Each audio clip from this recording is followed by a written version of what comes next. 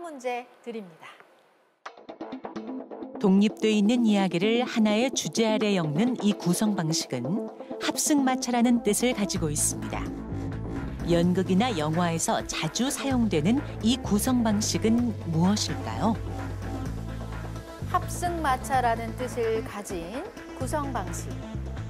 연극이나 영화에서 자주 사용됩니다. 자, 5초 제한 시간 나갑니다.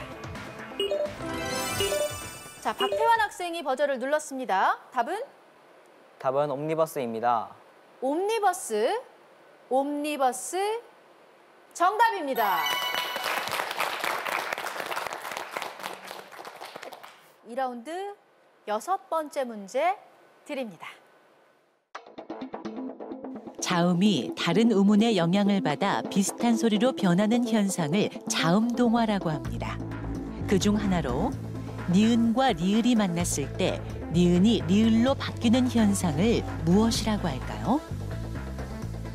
대표적인 예로 칼과 날이 만나 칼날로 발음되는 것이 대표적인 예입니다. 자, 이 현상을 뭐라고 할까요? 제한 시간 5초 나갑니다.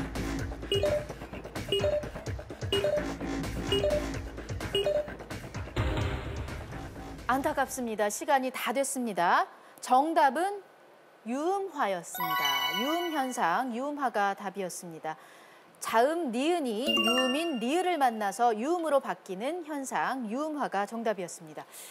자, 이렇게 되면 마지막 한 문제, 2라운드 마지막 한 문제만을 남겨두고 있는데요. 박태환 학생이 340점, 현지원 학생이 160점, 김은서 학생이 150점으로 현지원 학생과 김은서 학생 중에서 이 마지막 문제를 통해서 3라운드 진출자가 결정이 날 것 같습니다. 자, 그럼 2라운드 마지막 문제 드립니다. 이것은 어떤 지역의 인구를 저연령층에서 고연령층으로 쌓아 만든 도표를 말합니다. 수직선을 기준으로 남성과 여성을 나누고 경사면은 인구 비율을 나타내는데요. 연령과 성별에 따른 인구 분포를 그림으로 나타낸 이것은 무엇일까요?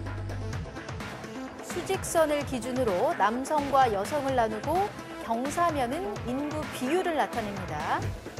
연령과 성별에 따른 인구 분포를 그림으로 나타낸 이것. 자, 무엇일까요? 자, 박태환 학생, 답은 인구 피라미드입니다. 인구 피라미드. 인구 피라미드 정답입니다.